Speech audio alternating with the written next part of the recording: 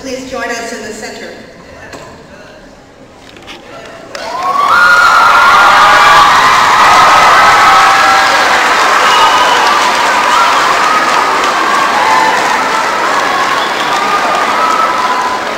Please stand up and give them the round of applause they deserve.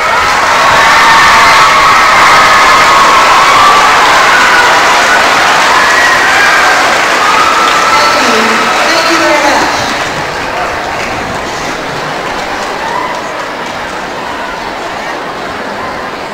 Okay, today's assembly, we are going to be honoring our nation's veterans and current um, armed services members.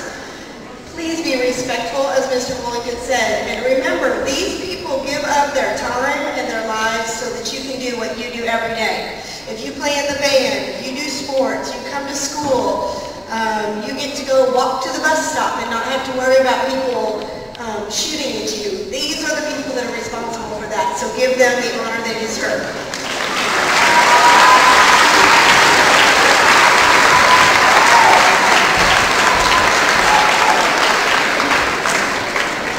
Mr. Tristan Monsieur.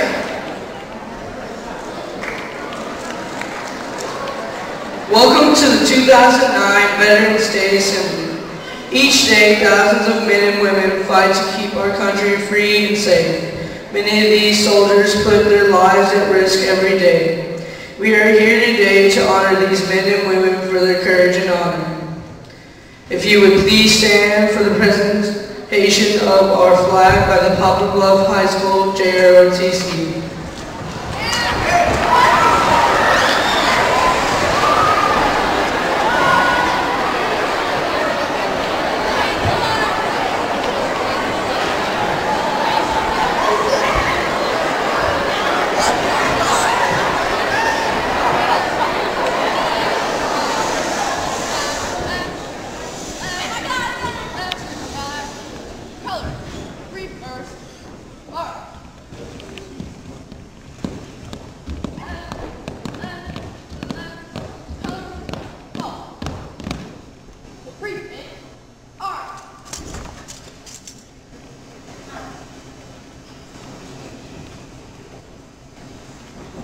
Please join me in the Pledge of Allegiance.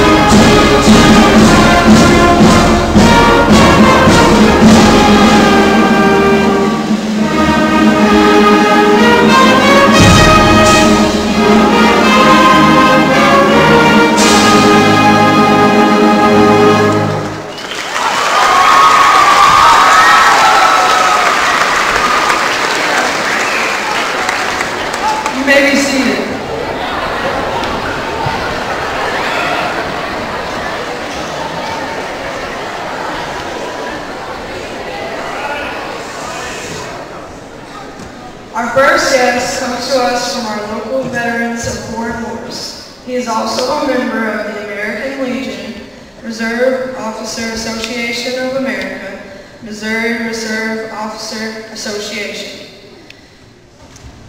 He has four years active duty, including a tour in Vietnam, 19 years service in the active Army Reserve, which is a 23 years total service. He's, a, he's retired at the rank of major. He is owner of Denver Kennedy State Farm Insurance Agency and proud to be a member of this community for over 30 years. Both of his children attended PBJHS and graduated from PBHS. He is honored to be part of the Veterans Day Assembly at PBJHS. Please welcome Mr. Denver Kennedy.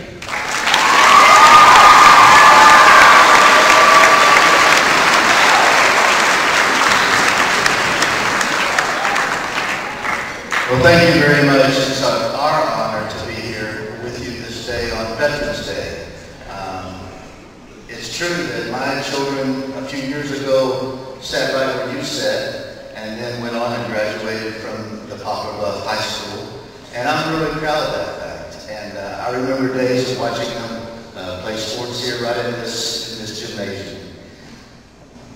It's a special honor for me after having served the years that I did and the tour in Vietnam to know that there are young people like you that are going to come and fill the gap and stand in the gap for those for protection of liberty for all of us. you know, that in the Army, um, at the end of a salute or at the end of a formation, there's usually a, uh, a response from the people. That response nowadays is called a, a shout called hooah, which means we'll get the job done, you can depend on us. I'd like for join me in that today, and at the count of three, I want all of you that are going to be standing in the gap, getting the job done, to respond with hooah. You ready? On the count of three. One, two, three. That sounds great. So I salute you, and at the end of my salute, I want to hear that hoo-ah one more time. Here you go. Thank you. Thank you very much.